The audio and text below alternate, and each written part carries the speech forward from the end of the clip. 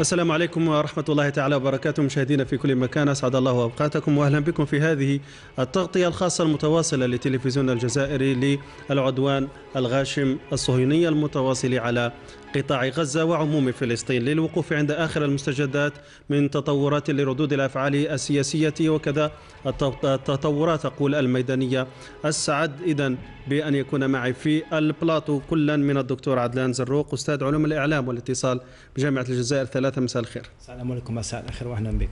شكرا جزيلا. وأيضا يحضر معنا الدكتور رائد ناجي المحلل السياسي. أهلا بك دكتور. أهلا وسهلا بكم مساءكم عزة وغزة. إذا قبل أن نستهل هذا النقاش نتابع الآن مستجدات الحراك الطلابي الحاصل في أوروبا وأيضا في الولايات المتحدة الأمريكية والمندد بالعدوان الصهيوني على غزة طيلة السبعة أشهر الماضية. نتابع هذا التقرير لملك سحقي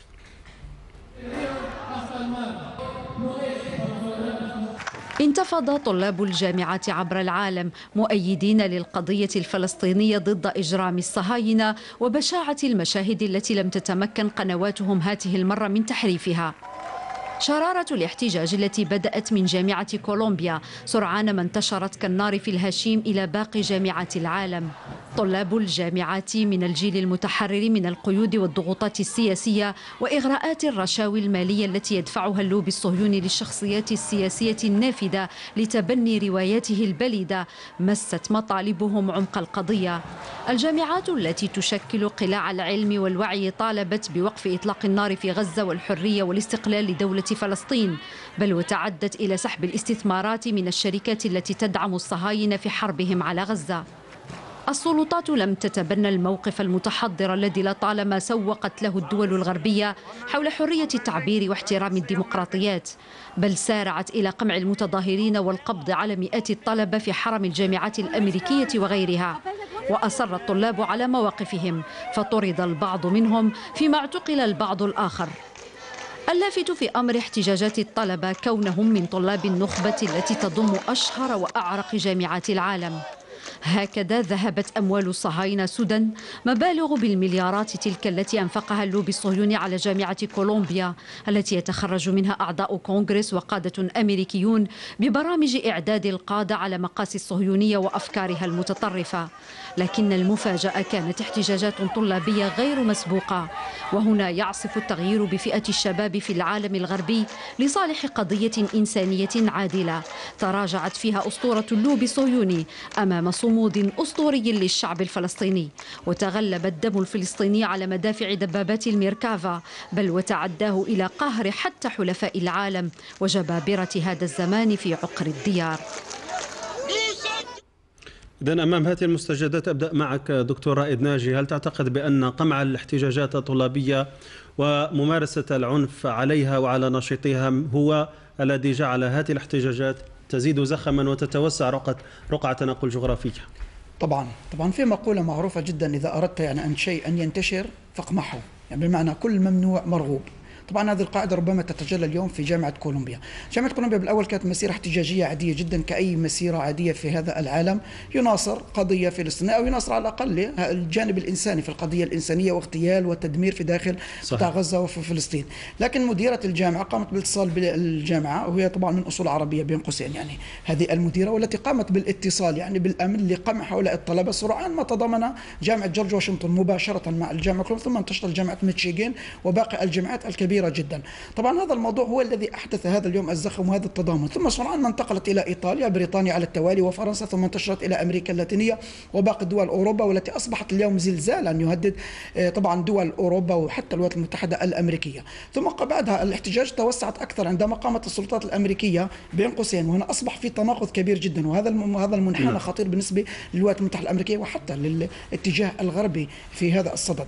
طبعا لماذا؟ طبعا اولا انه هذه الاحتجاجات عندما قامت اول الولايات المتحده الأمريكية بقمع هذه المظاهرات سرعان من طبعا انضم أباء هؤلاء الطلبة. بل أن من الأمريكيين يقول أني فخور بابني أو ابنتي التي تشارك اليوم لرفع الظلم عن فلسطين فبالتالي اذا استمرت فأصبحت هناك احتجاجات حتى للأباء وللداعمين هذه نقطة. المنحنى الثاني وهو مهم جدا إنه هذه الجامعات الكبرى في العالم هي طبعا التي تخرجت منها النخبة وهنا سأعود إلى النخبة وأقصد في النخبة. بمعنى آخر النخبة السياسية بالنسبة للولايات المتحده الأمريكية يكفي أن نذكر اليوم أنه جون كيري جانيت وزيرة الخزانة الأمريكية حتى هذا بلينكين يعني معظم مستشاري بايدن من هذه النخبة بمعنى آخر أعود إليك يعني دعني قليلا أعرج إلى علم الاجتماع قليلا أو ربما بورديو الذي يتكلم عن ال habitus أو إعادة إنتاج النخبة لصالح الرأسمالية طبعا عندما تحدث هذا نعم. في علم الاجتماع الفرنسي اليوم طبعا النظام الأمريكي وحتى اللوبي كما رأينا في التقرير عندما تقول أنه صرف الملايير على جامعة كولومبيا نعم من أجل إعادة إنتاج النخبة لصالح من؟ لصالح النظام الرأسمالي والإمبريالي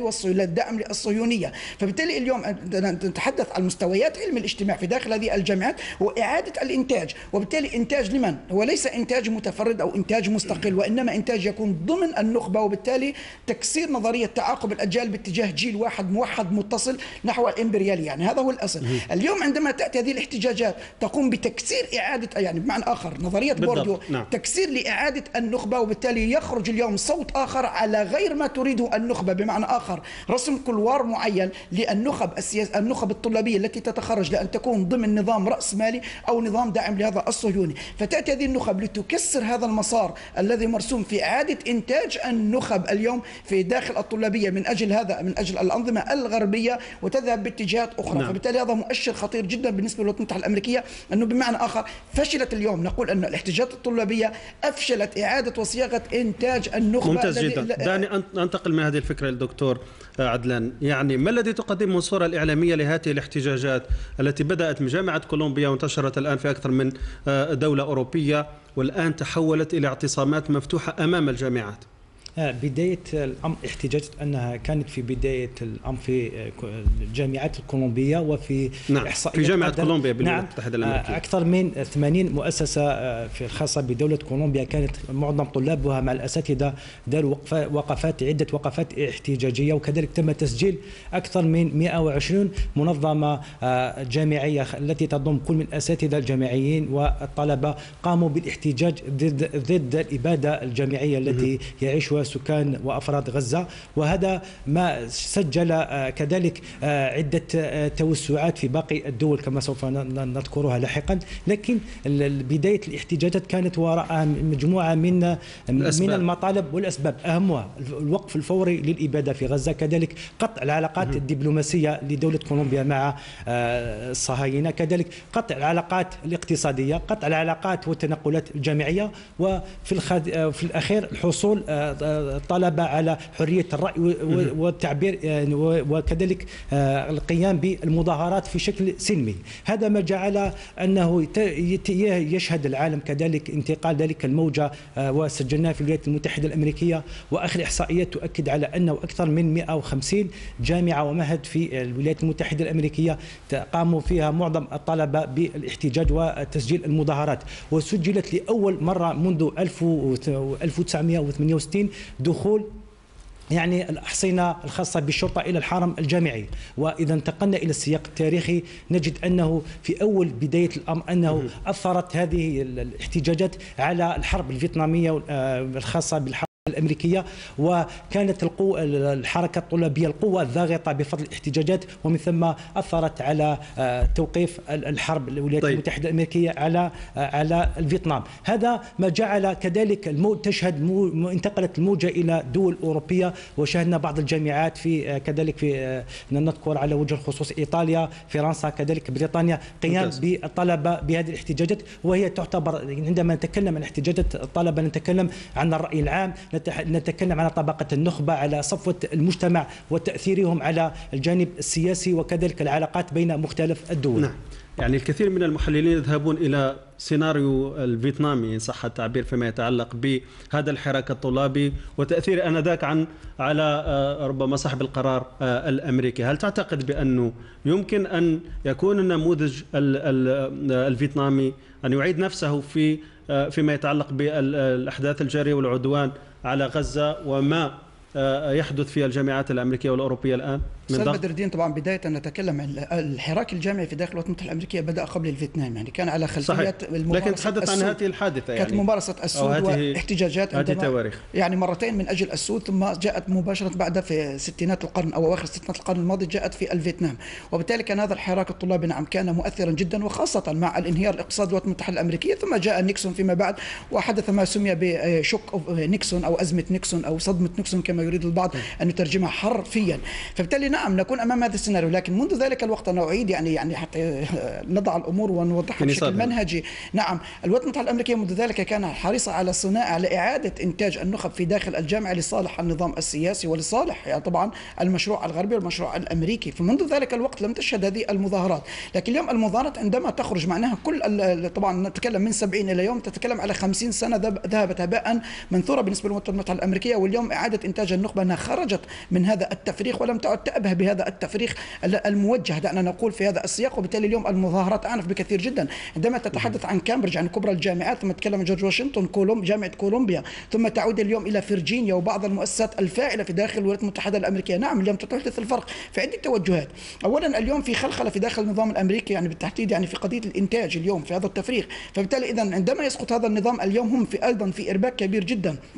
النقطة الثانية هو نعم. قضية الديمقراطية اللي تسوقتها الولايات المتحدة الأمريكية، اليوم يتم قمع الطلبة فكما قال فكأنها اليوم تناقض نفسها وهذا بدأ يحدث للطلبة، حتى رأينا يعني بعض صور الكاركتير أو بعض الرسومات التي رفعت في الجامعات طال إحدى الطالبات المعتقلات مثلا وموضوع عليها تاج آه، طيب حينما تقول كلمة إرباك بالنسبة ربما لصنع القرار الأمريكي طبعا. يقول البعض أين هذا الإرباك؟ في الأخير الولايات المتحدة الأمريكية لا تزال تدعم الكيان الصهيوني ولا تزال أيضا تدافع عن آه، آه، حتى قراراته. طبعا الولايات المتحدة الأمريكية لن تظهر السياسة بأنها ضعيفة وأنها استجابت إذ لو أن الولايات المتحدة الأمريكية اليوم استجابت لأخذت منحنيات أخرى وبالتالي الولايات المتحدة الأمريكية اليوم ترى أنها تتزعم هذا العالم والآن هي ترفض أصلا القطبية أصلا ترفضها الولايات المتحدة الأمريكية وتقول بأنني ما زلت امسك زمام العالم. فبالتالي الزعزعة الأمريكية يعني أو محاولة إظهار الضعف الأمريكي اليوم الامريكيه فبالتالي العم سام دائما يريد أن يظهر قويا لكن الارباك واضح جدا من خلال أن تقرأ الجرائد الأمريكية من خلال أن تقرأ المواقع الأمريكية من خلال أن ترى فقط منشورات الطلبة على مواقع التواصل الاجتماعي تحدث هذا الارباك طيب. النقطة الثالثة والمهمة جدا لأنه الآن موعد موعد موعد أذان صلاة العشاء بمدينة الجزائر العاصمة وضواحيها. نستمع لصوت الحق. أعوذ بالله من الشيطان الرجيم. إن الصلاة كانت على المؤمنين كتابا موقوتا. صدق الله العظيم.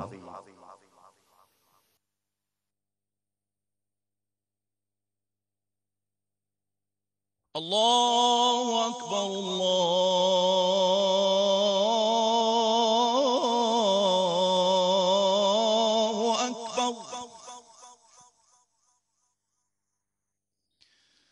أشهد أن لا إله إلا الله.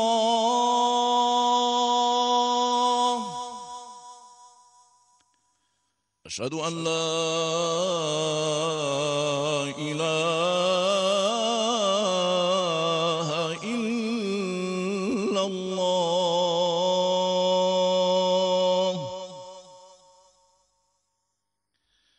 أشهد أن محمد رسول الله.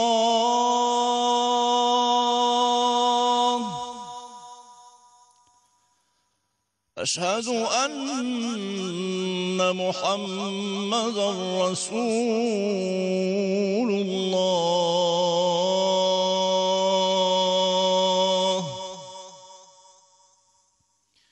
حي على الصلاة.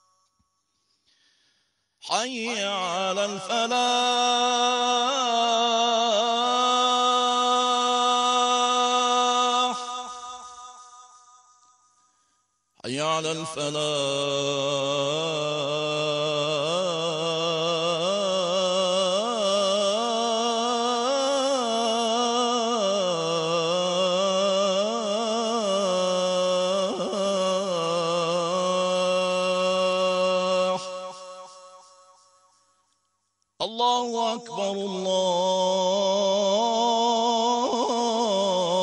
الله أكبر لا إله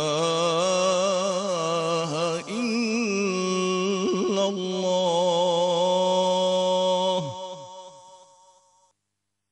اللهم رب هذه الدعوة التامة والصلاة القائمة. آت محمدا الوسيلة والفضيلة وابعثه مقاما محمودا الذي وعده تقبل الله صلاة الجميع بمزيد من المغفرة والأجر والثواب. إذا أعود إليك دكتور رائد كنت تتحدث عن علاقة هذه الاحتجاجات وتأثيرها بصانع القرار الأمريكي.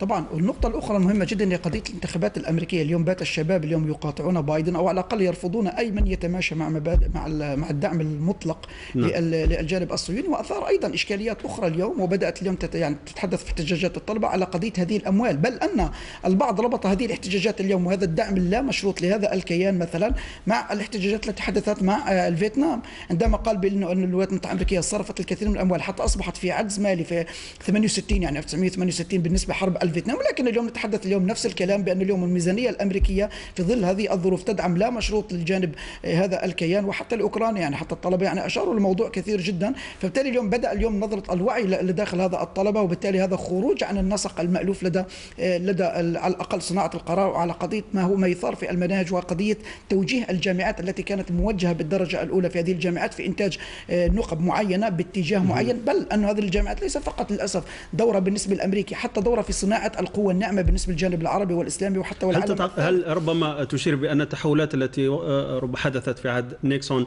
الاقتصادية أتحدث آنذاك بسبب بسبب ما كان يحدث في فيتنام سيؤدي أيضا إلى تحولات اقتصادية وسياسية في في ستؤدي نعم المتحدة إلى الأمريكية تحول اقتصادي حاليا الامريكي نعم هو اليوم في أزمة في داخل الولايات المتحده الامريكيه ولهذا نجد الولايات المتحده الامريكيه إنها سلمت واليوم تريد أن تفاوض الصين مثلا هذا أحد المعطيات ال- والإشارات ال- الجديدة. اذا كل المعطيات لو ربطناها ببعض يعني ما يحدث اقليميا وعربيا تجد أن هذه الاحتجاجات اليوم مؤثرة والأهم من ذلك هي الوعي هذه الاحتجاجات بما يجري في داخل فلسطين وقطاع غزة. وبمعنى آخر إنه في أخرى موضوع آخر مهم هو إسقاط السردية بالكاملة. الإعلام اليوم الغربي مثلا أو حتى صناعة الأجيال في داخل الولايات المتحده الأمريكية حتى مستوى المؤسسات التعليمية والتربوية على كافة أشكالها اليوم. لأن نتحدث التي كانت توجه باتجاه دعم هذا وإنتاج نخبه دائما مواليه نعم. صالحا تكون داخل النخب السياسية. اليوم أيضا الاحتلال نفسه نتنياهو قال عندما حدثت الاحتجاجات لم أنم الليلة كاملة. اذا لماذا لم ينم؟ يعني دائما أنا أستفسر وأتساءل بطريقة أو بأخرى. لماذا لم ينم لم ينم نتنياهو إذ لم تكن هذه الاحتجاجات ذات أهمية؟ لماذا؟ أنا سأقول لك لأنه المركز الد- الدراسات العرسيله دائما ذات الاحتلال يخشى أنه على بعد سنوات أن تكون من هذه الطلب نخب في داخل الكونغرس نعم. وداخل المؤسسات الأمنية وغير الأمنية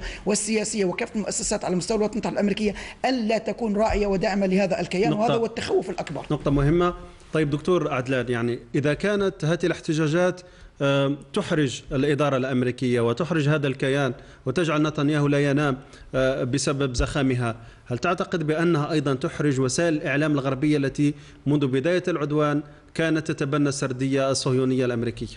نعم بالفعل هذه الاحتجاجات الآن تحرج وسائل الإعلام العربية وحتى ن- نتكلم نحن عن الاعلام آه، العربي المطبع مع الكيان الصهيوني والأمريكي. عندما نتكلم عن هذه النقطة بالذات نحن نتكلم عن وجود الآن الع- المئات من ال- الطلبة الجامعيين في كولومبيا أو في الولايات المتحدة الأمريكية محتقلين أن نتكلم عن الإضراب للعشرات من الطلبة في الولايات المتحدة الأمريكية وفي الجامعات الكولومبية ال- ال- قصد الحصول على الشعب الفلسطيني على التحرر. الآن عندما نتكلم عن الطبقه آه، الطلابيه نت- نحن نتكلم عن طبقة النخبة في المجتمع. كيف ذلك؟ وأنها سوف تنعكس على المسار السياسي في الولايات المتحدة الأمريكية. نحن نعلم جيدا أنه في سنة 2020 أنه جو بايدن لم لم يتحصل على آه، الرئاسة مباشرة وإنما آه، معظم الأصوات كانت من طبقة النخبة وهي الطلاب. اذا هم كانوا السند الرئيسي في آه، الحملة. كوعاء انتخابي بالنسبة في وعاء- للديمقراطية. نعم نعم ممتاز. وهذا ما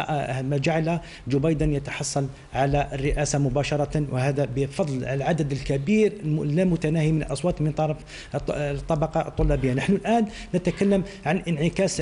على على السياسة الإعلامية وعلى السياسة آه، السياسية في نوفمبر القادم بوجود يعني منافس لجو بايدن وهو دونالد ترامب في نوفمبر القادم. في هذه الحالة إذا ما تحصل في 2020 على الانتخابات بفضل طبقة النخبة والطبقة المثقفة وهي الطلاب. في هذه الحالة سوف يفتقد لهذه الطبقة الكبيرة في المجتمع ومن ثم سوف يوجه الرأي العام آخر بفضل وسائل الإعلام على أنه الآن جو بايدن لم لم يحقق الاستقرار الكامل للولايات لكن قبل تحدث عن نعم. انعكاس ذلك نعم. على ربما الانتخابات الأمريكية نعم. القريبة نعم. دعنا نعود إلى موضوع وسائل الإعلام الغربي خصوصا وحتى الإعلام المطبع كما ذكرت دكتور والتي يبدو بأن هذه الاحتجاجات يبدو أنها تحرج تحرجها بشكل من الأشكال. تحرجها صحيح تحرجها وكيف ذلك؟ أن نجد أن وسائل الإعلام التقليدية سواء كانت صحف أو مجلات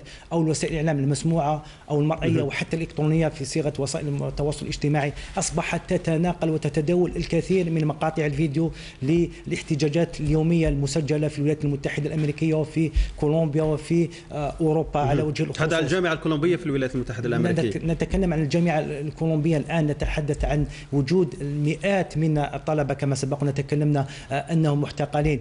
همهم الوحيد أنهم يعبرون عن رأيهم العام أمام وسائل الإعلام أنه غزة بحاجة إلى وقف فوري لإطلاق لوقف فوري لإطلاق النار. كذلك بحاجة غزة الآن إلى استغاثة مباشرة وبدون وجود أي شروط من الجانب الصهيوني. الآن نتحدث عن انتشار الوعي وكيف ذلك. أنه صحيح أنه الجامعة الكولومبية تحتوي على المئات من الطلبة خارج كولومبيا. وخارج الولايات المتحدة الأمريكية. إذا هنالك ثقافات متعددة هنالك لغات متعددة هنالك سياسات متعددة. هذا ما يجعل أنه الجامعة الكولومبية أصبحت الآن مركز للتحرر وهي وصبت وسائل الإعلام الغربية.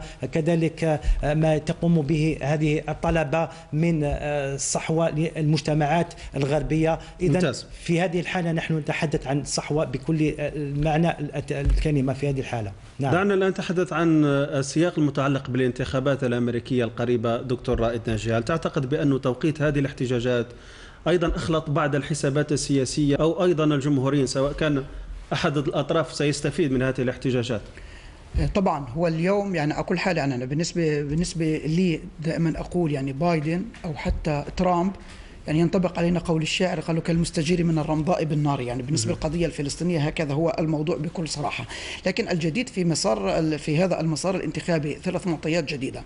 المعطى الأول اليوم هو سقوط حكاية الديمقراطية الولايات المتحدة الأمريكية. مثلا في جامعة ميشيغان عندما تقوم أحد المعتقلات يعني بوضع صورتها وهي تلبس تاج الحرية هي رمز إنه تاج أو تمثال الحرية في داخل الولايات المتحدة الأمريكية أو في نيويورك بالتحديد.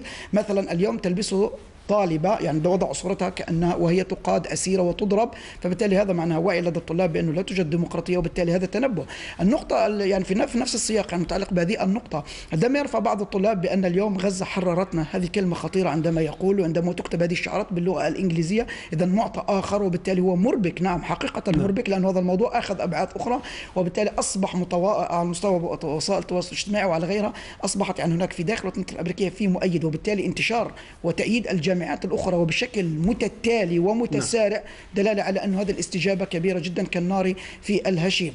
المعطى الثاني اليوم هو قضية أنه قضية الوعاء الانتخابي دائما دائما دائما كان يستميل الديمقراطيين مثلا أو الجمهوريين يعني دائما الشباب.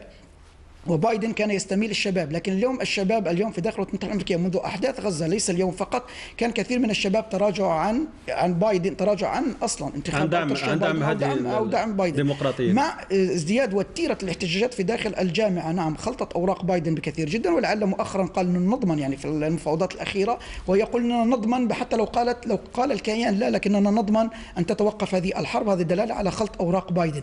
لكن لكن لا دعنا نقول إنه بايدن نعم خلطت أوراقه لكن بالمقابل أيضا اليوم ترامب أيضا اخلطت أوراقه لأنه بايدن ترامب معروف ولاءه ومعروف أنه في وقته كانت عوام التطبيع والهرولة إلى التطبيع وكانت في عوام نقل القدس أو السفارة الأمريكية إلى القدس وفي أراد شرعنة المستوطنات وأراد شرعنة بتويتر نعم. كان يقسم ويوزع هذه الدول الصحراء الغربية مثلا بتويتر فقط قال هذه لصالح يعني مثلا أبسط مثال يعني فبالتالي اليوم حتى المراهنات ترامب التي يران فيها جال بايدن هي تقريبا تتساوى تتساوى مع بايدن مثلا دعم هذا الكيان تتساوى عند الطرفين وبالتالي اليوم هذا نفسه بحد ذاته سيشكل مؤثرا بالنسبة أو على الأقل عرقله بالنسبة لوعود آه، ترامب يعني في في الموازي. يعني بايدن تكلمنا عليه فبالتالي لترامب. حتى موضوع اليوم هل هذا يعني بأنه ترامب والجمهوريين سي سيحاولون الاستثمار في هذه الاحتجاجات؟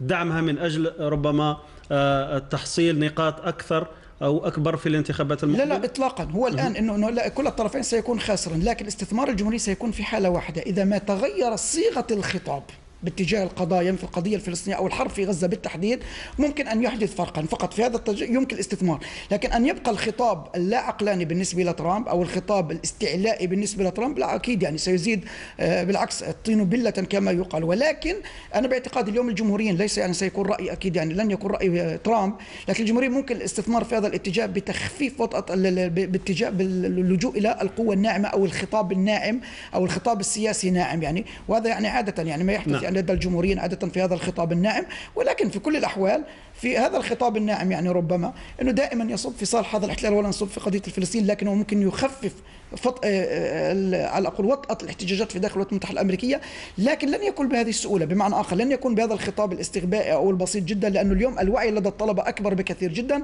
وهذا ربما نحتاج إلى تحليل الشعارات التي رفعت. يعني بالتالي لو أحضرنا بعض الشعارات وقمنا بتحليلها من الجانب النفسي والجانب السيكولوجي والجانب السلوكي لتحدثنا على أن الشعارات أكثر بكثير جدا من وعي يعني الوعي أكبر بكثير جدا من أن تحركه يعني قوة ناعمة وسياسية. وبالتالي أنا باعتقادي يعني اليوم الأزمة تطال ترامب وتطال بايدن في آن واحد لأنه اليوم الموضوع لا نتجاوز الموضوع الفلسطيني بكل صراحة. تجاوز موضوع غزة واليوم بدأنا نتحدث عن الداخل الولايات المتحدة الأمريكية. ربما يعني الذي يعني يعني أتبع لك يعني قول ذلك. تفضل. إنه بعض مثلا حكام الولايات في داخل الولايات المتحدة الأمريكية التي فيها الجامعات المحتجة مثلا والمنتفضة والمتظاهرة اليوم كانوا في البداية ق- قالوا بالقمع لكن فيما بعد بعضهم تراجع. لكن في ولايات أخرى أيدوا هذه المظاهرات. يعني وبالتالي حتى الولايات في داخل الولايات المتحدة الأمريكية الولايات بحد ذاتها هناك انقسام وتباين في الرأي وهذا بحد ذاته هذا التشظي هو بالعكس يعني هو مربك للسياسة الأمريكية. طيب سؤال تخصصي آه، دكتور عدلان. آم، يعني هل تعتقد بأن الاحتجاجات وزخمها في الولايات المتحدة الأمريكية وأيضا في آه، معظم الدول الأوروبية هو من زاد الوعي آه، في وسائط التواصل الاجتماعي بالقضية الفلسطينية وحق الشعب الفلسطيني في العيش بسلام أم أن وسائل التواصل الاجتماعي والمواد التي كانت ربما تبث عليه أو فيه هي التي ساهمت في هذا الوعي الطلابي وفي زخم هذا الحراك الطلابي في العالم.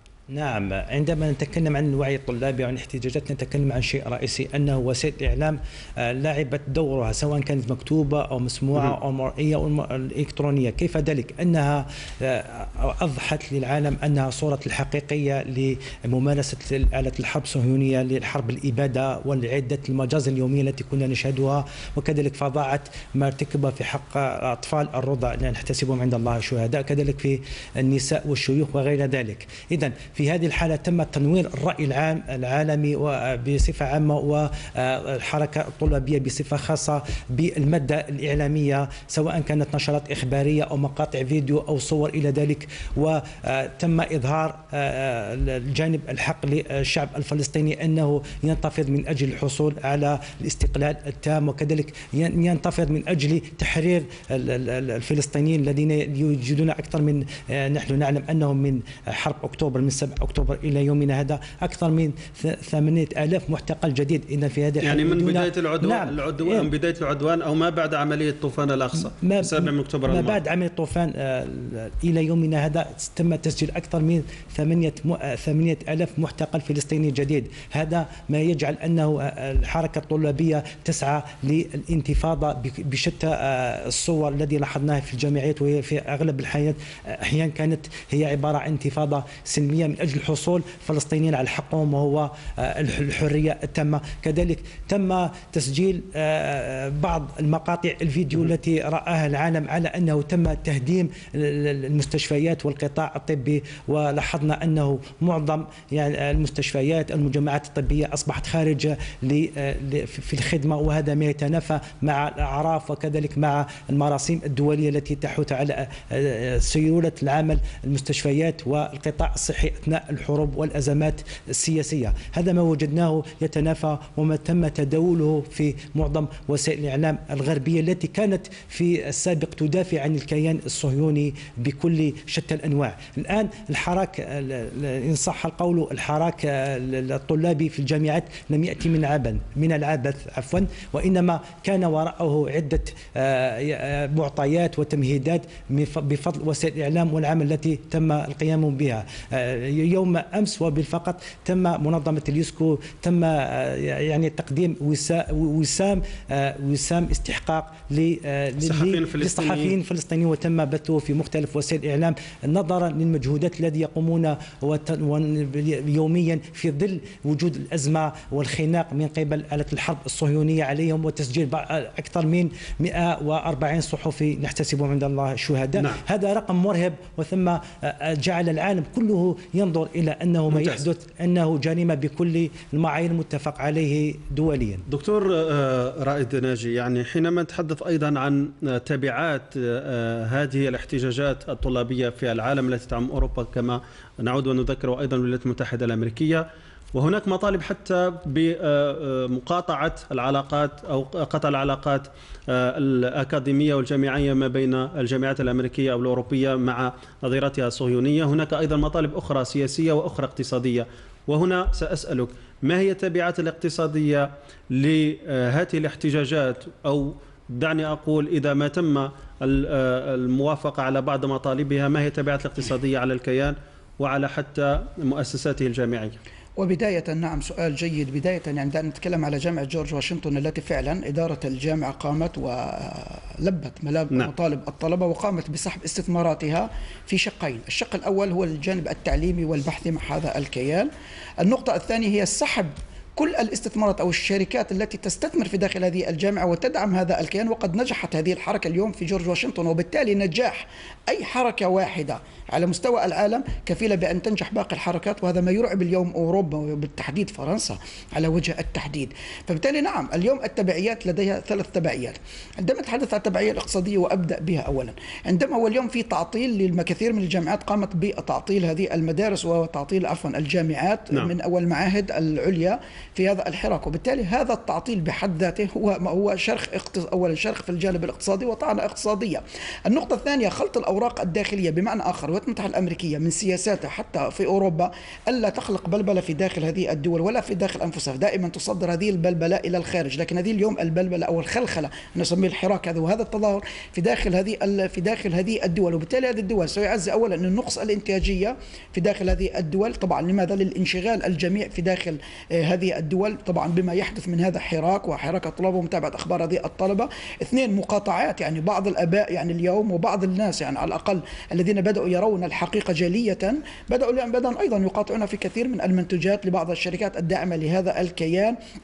وحتى شراء بعض المنتجات ربما رأينا بعض المحال التجارية عبر مواقع التواصل الاجتماعي في الولايات المتحدة الأمريكية والتي قامت يعني بمقاطعه حتى ما يأتي من داخل هذا الكيان أو حتى في بعض الدول الأوروبية حتى أن بعض التجار في داخل هذه الدول الغربية. بات يكتب بأن هذا المحل لا يعني لا لا يستقبل أو لا يبيع منتجات المستوطنات. يعني تخيل يعني اذا وصلنا نعم. إلى هذه اذا هذه حالة فارقة ربما من المح... من ال... طبعا النقطة الثانية وهي مهمة جدا. اليوم حركة BDS أو المقاطعة لمنتجات المستوطنات اليوم بقى يعني بدأت أقوى بكثير جدا وبدأت كثير منها تتلحق هذه وبالتالي اليوم مقاطعة بعض هذه الانت يعني مقاطعة الإنتاج ومقاطعة هذه الشركات طبعا سيسبب خسائر كبيرة بالنسبة لهذه الشركات. أضف إلى ذلك أنه الجانب الأمني بمعنى آخر اليوم عندما الأمن يقوم يعني يقوم بإسكات هذه المظاهرات أو على الأقل أنه آه، تجهيز أو على الأقل تأجيج أو تجيش مجموعة من القوات الأمنية من أجل متابعة هذه الحركات. فهو ثاني هو استنزاف يعني مالي واستنزاف أي أيضا يعني حتى أمني في داخل هذه الدول. نعم. فبالتالي خلق مثل هذه الحسابات اليوم يعطل حتى يعني مسار الحركة اليومية بشكل عام هذه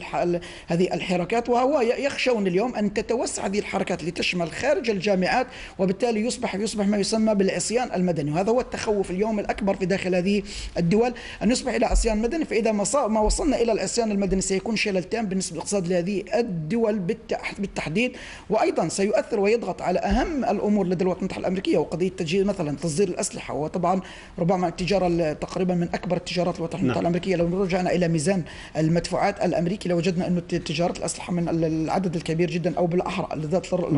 الكبيرة جدا نعم يعني في داخل هذه المنتجات وبالنسبة للدول الغربية بنفس الكلام فبالتالي تأثير مثل هذه الحركات الاحتجاجية اليوم ومقاطعة هذه العالم لوجود مثلا عد دعنا نقول ازدواجية الحرية بالنسبة لهم وبالنسبة للعالم الآخر هذا قد يأخذ من بعض الدول تأخذ اصطفافات أخرى وبالتالي قد يصل إلى الجانب الاقتصادي بمعنى آخر من السياسة إلى الاقتصاد وبالتالي دائما أقول بأن الاقتصاد والسياسة هم صنوان ويصلان معا حتى الذين كتبوا في السياسة قالوا الاقتصاد السياسي فبالتالي حتى منذ النظريات الكلاسيكية والنظريه التجارية المرتكزية يعني كما يقال بين قوسين القديمة جدا هي دائما تربط الاقتصاد بالسياسة فبالتالي لا يمكن أن نفصل هذا عن هذا وبالتالي قد نعم إذا ما تأثر السياسة تاثر الاقتصاد والعكس تماما تأثر الاقتصاد سيأثر بالسياسة والجانب نعم. الأمني مربوط بالسياسة وبالتالي هذه المعادلة اليوم في الولايات المتحده الأمريكية باتت واضحة وحتى إن اليوم مقاطعات حتى مثلا في داخل أوروبا عندما يقوم اليوم النخب برفع قضايا ضد مثلا آه، ضد شركات التي تصدر الأسلحة وازدياد الدعم الطلابي والحراك الطلابي في داخل هذه الجامعات أعطى قوة لهؤلاء المحامين وجيوش المحامين وهم الشرفاء الذين قاموا برفع قضايا ضد الشركات وبعض رؤساء الحكومة وبعض الذين مثلا في داخل حكومة في بريطانيا على سبيل المثال 140 محامي فرنسا على سبيل المثال. هو اليوم التخوف الكبير جدا أن تلتحم الجيوش الخارجية بما في داخل الجامعة بمعنى آخر أن تتكسر الأسوار ما بين الداخل وما بين الخارج. وبالتالي هذا هو الذي الآن يهدد أوروبا وبالتالي فرنسا الآن بالتحديد يعني رأيت بعض الأخبار هو يرعبها هذا الكلام أن تخرج الأمور إلى السيطرة وبالتالي إذا ما خرجت خارج الجامعة هذا الحراك والتحم الحراك. بغض النظر عن لا أقصد يعني الخروج نعم. المشي مسيرة أقصد تلاقي الأفكار. سيكون قوة ضاغطة في داخل النظام السياسي في داخل تلك الدول وحتى على الجانب الاقتصادي وحتى على الجانب الأمني. فبالتالي هذا ما أحرج هذه الدول خاصة مع القمع لهذه المظاهرات. حتى إنه دليل على قول مثلا ال- ال- الكيان مثلا اصدر قرارا مثلا بأن لا يتم التعاطي مع هذا الحراك يعني من أي أخبار إلا من أخبار إذاعة الجيش يعني تخيل طبعا هذا الكلام كنا نراه على غزة نعم وتقول نعم لكن أن يتحدث وهو عن شكل من حراك أشكال التعتيم نعم الحال. يتحدث عن حراك في داخل أمريكا في داخل الجامعة الأمريكية بأن لا تأخذ إلا من إذاعة الجيش للاحتلال بحد ذاته هنا مفهوم المقصود وحتى نفس الكلام اليوم بالنسبة للولايات المتحدة الأمريكية أرادت أن تس- أن تسير هذا الحراك باتجاهات معينة ممتاز.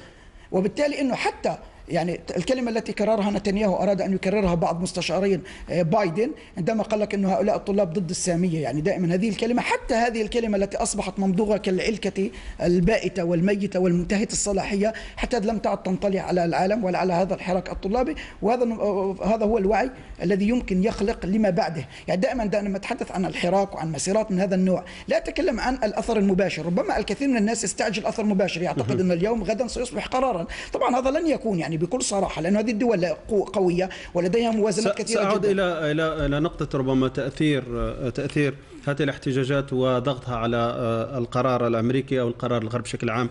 لكن فيما يتعلق أيضاً- أيضا بالاحتجاجات هناك جانب آخر ربما لا يتم التركيز عليه في آه، مختلف ربما المعالجات الإعلامية التي تتعلق بمشاركة آه، الأساتذة وال- وكذلك مدراء المؤسسات الأكاديمية في هذه الاحتجاجات.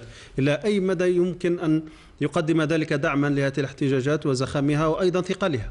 عندما نتكلم عن الأساتذة الجامعيين في جامعة كولومبيا وفي الولايات المتحدة الأمريكية نحن نتكلم عن النواة الحقيقية لقاده الرأي. ب- ب- ب- نحن نعلم أن قادة الرأي يتكونون من مجموعة من من الأفراد. هم أطباء هم أساتذة هم طلبة جامعيين هم محامين هم أدباء هم صحفيين إلى غير ذلك. وجامعات في مختلف نعم. تخصصات إذن ممتاز. اذا النواة الحقيقية والرئيسية لقادة الرأي هم الاساتذه الجامعيين. اذا تأثير الأساتذة الجامعيين كما لاحظناهم في الجامعات الكولومبية كان لهم تأثير مباشر على الطلبة حيث هم يعتبرون أنهم هم الدعم الأساسي للطلبة عندما يرون أنهم اساتذه هم كذلك م- بعض المدراء المؤسسات الجامعية قاموا بالاحتجاج.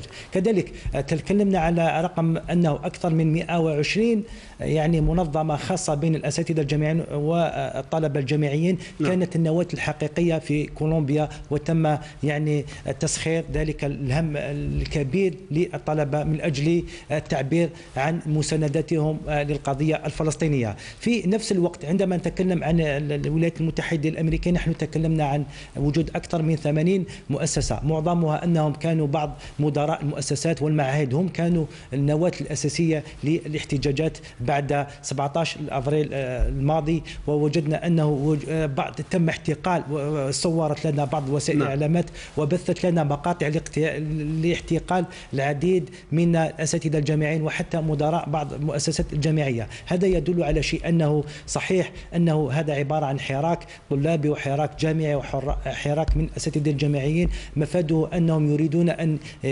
يظهرون للعالم أنه بعض سياسات هذه الدول لا تستغبي جميع فئات المجتمع ما دام أنه طبقة النخبة تقف دائما في وجه الظلم وفي وجه الاله الاستبداد. لاحظنا ذلك عندما رجعنا إلى السياق التاريخي في الحرب الفيتنام وكذلك فيما في 1968 وما حدث في سنة 1980 في جنوب إفريقيا عندما انتفضت طبقة النخبة ضد سياسة التمييز العنصري وحققت انتفاضة وحققت انتصار ومن ثم أصبح ملغاة الأمر المتعلق بالتمييز العنصري في الحكم والسود بفضل وجود الطلبة الذين أطرهم الأساتذة والعالم لاحظ ذلك. اذا هذا النموذجين إذا تم اعتباره النموذج الخاص بحرب فيتنام والنموذج الخاص بالحرب العنصرية التي تم القضاء عليها في 1980 هم كانوا دعما لما حدث بدءا من 17 ابريل في الجامعات الكولومبية. اذا هنا عندما نتكلم عن الطلبة الجامعيين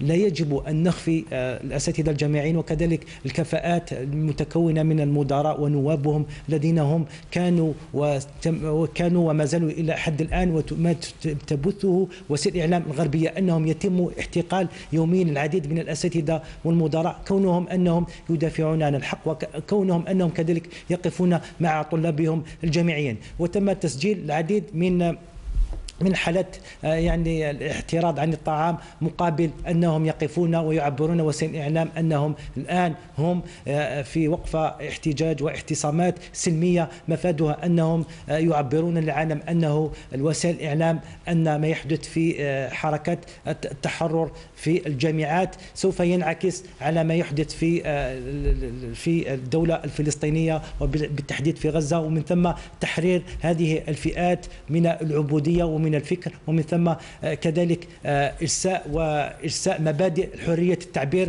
الذي تروج لها الدول الغربية على أنه للحق لأي فرد أن يعبر عن أفكاره بطريقة سلمية. ومن ثم ما حدث في الجامعة اذا هو انعكاس وتعبير سلمي وتم بثه في مختلف وسائل الإعلام خاصة الغربية التي كما سبقنا وتكلمنا أنها في القديم كانت تروج لأنها دائما في موقف مداعم نعم. للكيان الإسرائيلي الآن أصبح عكس ذلك وانعكس سلبا بفضل ما تم القيام به من بهذه الاحتجاجات السلمية. هل ننتظر الآن تعامل أكثر إيجابية مع هذه الاحتجاجات سواء في أوروبا أو في الولايات المتحدة الأمريكية؟ وبالتالي يمكن أن يكون هناك ما يخدم القضية سواء في سواء في هذه الدول أو حتى فيما يتعلق بتعامل المنظمه الدولي. تحدث هنا عن مجلس الأمن ونتحدث هنا عن المنظمات الحقوقية الدولية. طبعا بالنسبة لدول أوروبا ممكن أن يكون هناك تراجعات ووجدنا هذا التراجع يعني باد في كثير من المسائل لما طرحت على مجلس الأمن أو على الجمعية العامة أو غيرها من الدول الأوروبية يعني خاصة بريطانيا فرنسا الدائمة في مجلس الأمن. لكن بالنسبة للولايات المتحدة الأمريكية لا أعتقد ذلك. أعتقد الولايات المتحدة الأمريكية انها بنت هذا النظام وصرفت عليه المليارات من الدولار لإعادة إنتاج النخب ثقافيه سياسيه تخدم المشروع الأمريكي والرأسمالية والإمبريالية وبالتالي حرصت على وجود تجانس ثقافي. لكن أيضا هذا التجانس الثقافي في داخل هذا الحراك ينشق انشقاق كبير جدا وتعالى هذا ربما الشيء المربك أو على الأقل بالنسبة للولايات المتحده الامريكيه إنه هذا اليوم التجانس الثقافي أصبح تجانس ثقافي نعم, نعم. لكن ليس لصالح الولايات المتحده الامريكيه إنما لصالح القضية الفلسطينية في قطاع غزة وهذا ربما ما حدث يعني اليوم تساوى الزنجي والأصول الأخرى يعني الغير أمريكية الأصل أو غير غربية أو الرجل الأبيض أنا أسميه أو المرأة البيضاء كما كان مصطلحا استعماريا في النظرية الجرمانية آنذاك والتي صدر طبعا عن طريق كثير من فقهاء وخبراء أو اليهود الذي صدر يعني سبنسر وغيره الذي دائما ما كان يطرح النظرية الاستعلائية والتي جاءت طبعا من الأصول الجرمانية. على كل حال موضوع آخر لكن الرجل الأبيض هذا داخل في المتحده الأمريكية. لكن اليوم تسقط هذه الأمور وتسوي نوع تجانس ثقافي بالنسبة للقضية الفلسطينية. وبالتالي هذا اليوم هذا بحد ذاته سيشدد خلخلة في داخل قضية فعلا في القادم. خاصة إذا عدنا إلى النظرية العقدية بين قوسين إذا سميناها نظرية.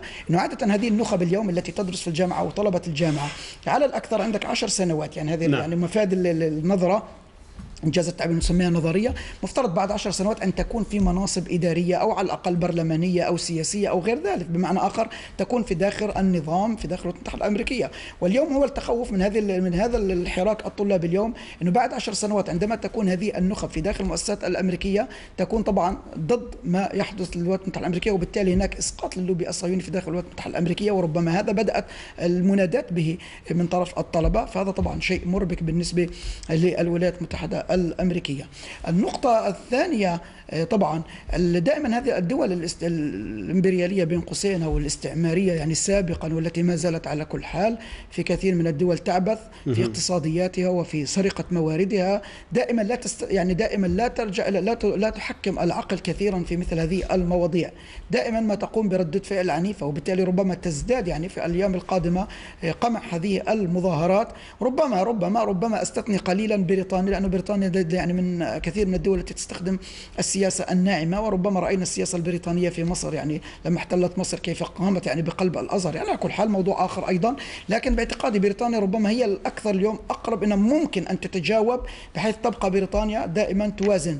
يعني دائما على ال check and balance يعني التوازن هذا ما بين مصالحها وما بين مصالح هذا الاحتلال وأيضا صورتها أمام المجتمع الدولي. ربما ربما يعني لا أقول يعني دائما نعم. لكن بشكل عام يعني باعتقاد الولايات المتحدة الأمريكية لا ستزيد من قمع هذه المظاهرات. بل العكس تماما. في البدايات وما زال الإعلام الأمريكي عندما يتحدث عن هذه المظاهرات في داخل الجامعة يريد تغويلها من كلمة غول يعني بمعنى آخر قلبها بانها وحش وانها غول بانها انتفاضة على على الاستقرار وعلى الأمن. بالتالي هذا من عندما تسمع لمثل هذه المصطلحات الأمريكية في محاولات التغويل هذه دلالة على أن الولايات المتحده الأمريكية ماضية في قمع مثل هذه المظاهرات. لكن شدة القمع لهذه المظاهرات هذا طبعا لما نقيسه على مؤشرات أخرى نقيس بأنه هو تخوف وفعلا من الولايات المتحده الأمريكية وأن الموضوع ذات قيمة. بحيث لو كانت الأمور لا- غير ذات قيمة لما كان هذا التعاطي الإعلامي وهذا القمع الأمني في داخل الجامعة يعني. تعتقد بأن هذه الاحتجاجات هي ستؤتي. ستؤتي مطالبها حتى ولو ربما طالت مدة آه، نعم. هذه هذه هي الاحتجاجات هي لابد أنها هي ست- ستؤتي أكلها وثمرها بالتأكيد لكن قد لا يكون الأثر مباشر لكن على. لكن لها مبعديات يعني دائما نقول البعدية وما بعد البعدية أنا ما بعد البعديات اليوم صدقا الموضوع كبير جدا يعني دائما أنا أعود إلى نظرية هذا نظريه الفرنسي هذا ال- الهيبيتوس يعني لما يتكلم على إنتاج على إعادة الإنتاج ويتكلم على الجانب الثقافي. بحد ذاته اليوم هذا المفهوم يعني إعادة إنتاج الأبناء يعني أبناء النخبة أو المثقفة أو السياسية أو أبناء النظام من أجل الوصول إلى معين أن يسقط فجأة طبعا شيء كبير جدا وبالتالي إنه اليوم أنا باعتقادي مثلا مركز جامعة هرسيليا مثلا مركز في القدس لهذا الكيان يتحدث عن هذا الموضوع بشكل كبير جدا ويرى إن انعكاسات الموضوع على الجانب الأمريكي هو كبير جدا وخاصة مهم جدا على المنظمات الآيباك مثلا في داخل الولايات المتحده الامريكيه وعلى المنظمات الصهيونية. بمعنى آخر إنه هناك في مقاطعة من طرف حتى الطلبة اليوم وبدأت تظهر أسماء مثل هذه ال- مثل هذه المنظمات. اذا الوعي الطلابي اليوم نعم قد يؤجج وقد كفيل بتغيير كثير من الداخل طيب. الأمريكي لكن على مستوى السياسة الخارجية الأمريكية؟ نعم. لا أعتقد دكتور بالحديث عن البعديات. تتحدث عن البعديات هل تعتقد ب- ب- بأن هذه الاحتجاجات الآن آه، جعلت الولايات المتحدة الأمريكية مع- أمام معضلة؟ نخبوية تتعلق بهاته أو بهؤلاء الطلبة الذين أصبحوا لن أقول سيدعمون القضية الفلسطينية مستقبلا لكنهم الآن متعاطفون على الأقل ويعون ما يحدث في فلسطين. هو بحد ذاته هو الوعي هو ما حد ما عملت عليه الولايات المتحدة الأمريكية والأنظمة الغربية إنتاج نعم. جيل لا يعي يعني بمعنى آخر يتلقى الإعلام ويبرمج على طريقة الإعلام الغربي فبالتالي لا يدرك ما حوله وبالتالي هذا ربما لاحظناه من ارض الواقع. يعني كثير من الغربيين إذا سالته عن أي دولة الموزمبيق لا يعرفها مثلا أو أي دولة يعني بالتالي هو لا يعي إلا ما يعيه خلال نظام وبالتالي أصبح مبرمجا على نظام معين. وبالتالي اليوم أن يتكسر هذا النظام فجأة ويصبح أن يعي ما حوله ويعي الدور الأمريكي في قضية غزة. نعم سيعود له افرازاته الكثيرة جدا. وخاصة أنا أقول لك وأركز وهذا التخوف الأمريكي أيضا أنا دائما أطرح. هو الش- المعاهد العليا والجامعات ذات ذات الإنتاج التكنولوجي مثلا أو التكنولوجية والتي فيها كثير من خريجين مثلا التكنولوجيا ومتعلقة بالذكاء الاصطناعي. وقضية حتى يعني ال- ال- الفيزياء وغير ذلك. طبعا عندما يجد تمرد هؤلاء الطلاب من هذه نعم. المعاهد العليا التي تعتبر أيضا آه، تعتبر أحد روافد الاقتصاد الأمريكي. يعني أنا الجوانب الأمنية أنا أقصد التطبيقات والذكاء الاصطناعي وغير ذلك أقصد الموضوع الإلكتروني أو التكنولوجيا بحد ذاتها الرقمية اليوم وتكنولوجيا اليوم. ولا هذا من أحد طبعا روافد الاقتصاد الأمريكي. عندما يتمرد أصحاب هؤلاء الجامعات اللي في هذه التكنولوجية وعندما يتمرد أيضا معاهد العليا التكنولوجية في داخل الولايات المتحده الامريكيه فطبعا الولايات المتحده الامريكيه ستكون أمام معضلة وبالتالي آه، معظم هؤلاء ربما لن ينضموا يعني إذا لأي شركة ممكن أن تعمل وتدعم هذا الكيان ربما ممتاز. حتى لن يذهبوا إلى الكيان في بعض الشركات التكنولوجية فبالتالي هذا بحد ذاته يربك الحسابات ويخرج حسابات طيب كثيرة. بقيت دقيقة واحدة الدكتور عدلان كيف ترى مستقبل هذه الاحتجاجات وتأثيرها على مسار القضية الفلسطينية مستقبل الاحتجاجات على القضية الفلسطينية يمكن أن نخلصها في ميل أولا تم تنوير الرأي العام الطلابي والأساتذة الجامعيين أنه ما يحدث هو عبارة عن انتفاضة للوعي ونشر ثقافة الحريات للطلبة الجامعيين. كذلك هو عبارة عن حرية التعبير بطريقة سلمية وشعارات سلمية داخل الحرم الجامعي. كذلك هو تعاطف بشكل أو آخر نعم. مع القضية الفلسطينية خاصة عندما تكلمنا أنه في السابق كان ينظر لها أنه آه، الفلسطينيين هم الذين استولوا على آه، على الأراضي آه، الصهاينة ولكن عكس ذلك كيف ذلك؟ كيف؟ على أراضي فلسطينيين يعني. نعم بطبيعة الحال نعطيك مثال كبسيط. عندما نعم، كنا باختصار. باختصار أنه لما كانت تروج لنا وكالة الأنباء أنه الطفل الفلسطيني الصغير الذي يقوم بقذف الحجارة على على الجيش الصهيوني وعلى الجندي الصهيوني كان يبرر على أنهم عبارة عن وحوش لا يمكن أن يتعايش معهم الصهاينة. وبالتالي تم آه، كسر تلك المقولة. عندما كنا نتكلم عن عن عن وجود العشرات من من من الأطفال الصغار ضد جندي العالم كان ينظر أنهم هم الذين يحتدون على الصهاينة هم الذين يحتدون على أرضهم لكن الآن الدعاية الآن- انقلبت نعم، الصهيونية ب- انقلبت. على هذا الاحتلال بفضل وسائل الإعلام بفضل مواقع التواصل الاجتماعي الذي أحدثت ثوره على آه، بداية من أكتوبر إلى يومنا هذا روجت للعالم الحقيقة التي يعيشها الصهاينة في الأرض الخاصة بالفلسطينيين وهم يقومون به من عشرات يوميا نسجل عشرات وبل مئات من ممتاز. المجازر حتى ضد الأطفال الرضع الذين لم يسلكون وكذلك من هذا آه، سجلنا في المستشفيات التي تم تدميرها بشكل نهائي إلى غير ذلك اذا وصلت هنا الفكرة دكتور عدنان. بفضل هذه الوسائل الإعلام المختلفة انقلب السحر ممتاز. على الساحر كما يقول واتضح للعالم أنه هذه الحقيقة نعم، الصهيونية نعم. المجرمة دكتور رائد في آه، 30 ثانية سيد الفاضل أنا ربما أعود وأستعير من نظرية جناح الفراشة الأثر البسيط. قد يؤثر إلى أثار كبيرة جدا وفي نظرية الوقع من خلال نظرية الفراشة أن الوقع الأول عندما يحدث يعني هذا الحراك وقمع نعم. هذا الحراك عندما حدث قد يأخذ أجيالا طويلة حتى تغييب هذه الحقيقة. وربما هذا حدث في قضية الفيتنام. فبالتالي اليوم الأثر الذي وقع لا يمكن أن يتجاوز الولايات المتحدة الأمريكية ولا الدول شكراً. الغربية بيوم وليلة.